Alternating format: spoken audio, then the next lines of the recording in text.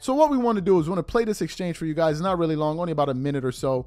Want to play the exchange for you now, and then want to come back and react to this exchange. Here. Take a listen to Chris Broussard and Nick Wright in this soundbite. Take a listen to that there. Here's the thing.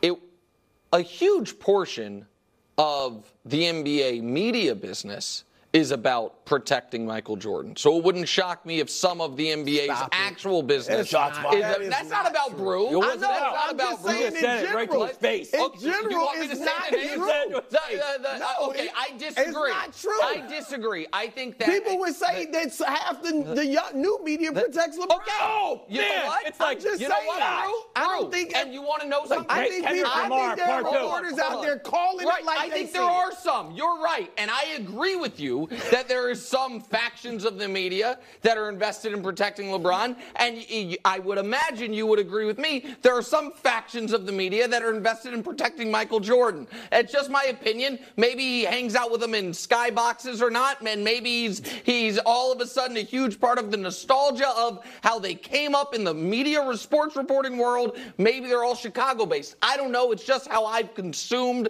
basketball I my don't even know life. what you're talking about now. Just Okay, that's well, the audience Where we Where It's we at? fine. Where we at? To the point that I was trying to make. So you heard the exchange there. This is why you need somebody like uh, Chris Broussard on that show. This is the exact reason you need someone like a Chris Broussard in that show. If Chris Broussard wasn't on that show, Nick Wright would run amok. In my personal opinion, Kevin Wildes, who also seems to not be able to tolerate some of the stuff that Nick Wright does, I believe he lets him off the hook too many times because I think he just gets fed up in Nick. He's like, Nick is like, what do you have to say? He's like, nah, just forget it, man. I, I don't, have the strength. I don't have the strength to deal with this guy. I don't have the zeal to to compete with this guy today.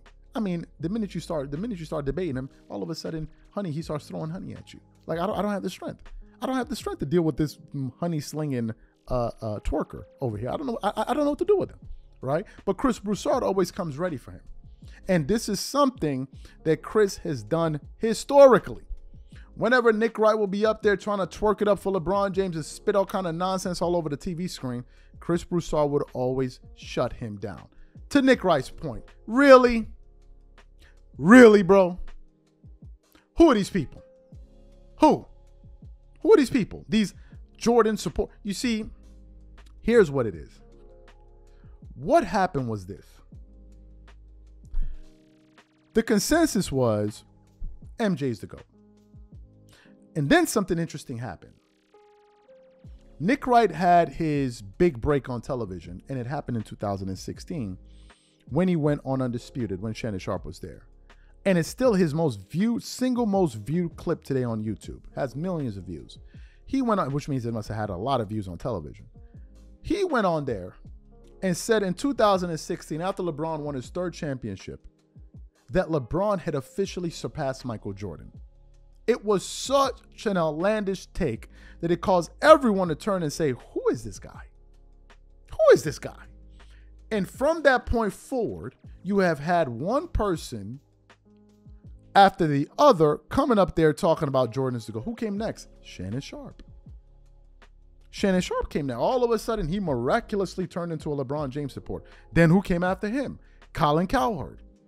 You used to have shows on on on uh Speak for Yourself with Colin Cowherd basically taking a shot at Jordan anytime he had a chance, saying why LeBron is better than Jordan. Then you have Colin Cowherd. Then after him, you had Ryan Hollins, who is the biggest joke. Then you had Kendrick Perkins that came uh, after him to go up there, and then you had this guy, this annoying guy. I can't stand it. I can't stand him. Uh, he's a Laker fan. He has a really annoying voice. He used to fill in on Undisputed at time to time. Uh, the the guy with the curly hair. I can't I can't remember his name. Just a really annoying guy. He was up there twerking it up. I can't remember. Now he works with Colin Cowherd uh, on his show.